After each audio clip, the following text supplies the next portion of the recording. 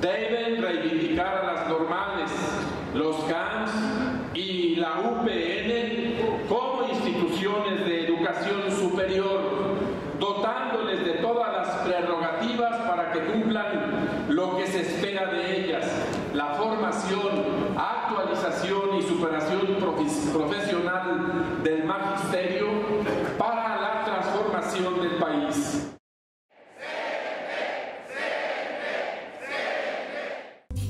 Primer Encuentro Nacional de Instituciones de Educación Superior.